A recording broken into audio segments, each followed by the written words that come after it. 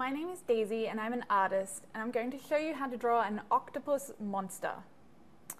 Now this could be pretty much anything that you want, so let's start with the octopus part first. So an octopus usually has a huge head and naturally it has eight scary tentacles. Three, four,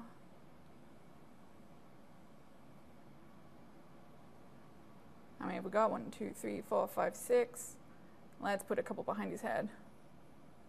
Seven, eight. So that's your basic octopus. Now this is a monster, so we need to make him kind of scary. So I'm going to give him a big mouth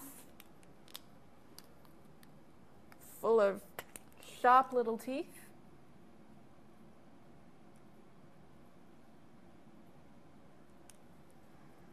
And let's give him some angry, beady eyes. And hey, he's a monster. I'm going to give him some horns.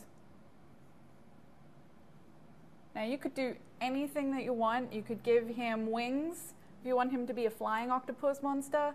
You could give him pretty much anything.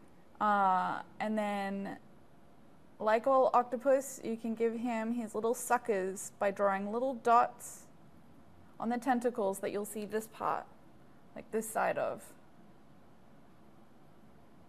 And that would just make him look like a real octopus and really scary because it looks like he's coming to get you.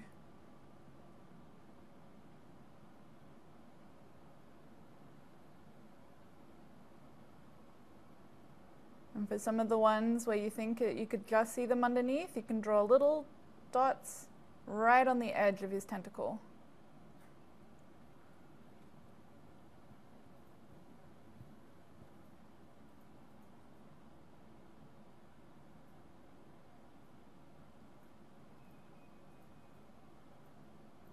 And then let's color his mouth in so we know it's open.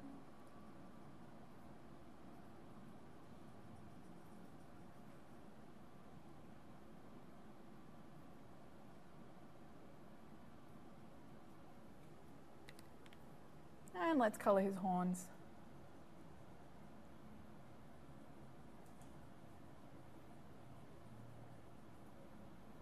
And that's how you draw an octopus monster.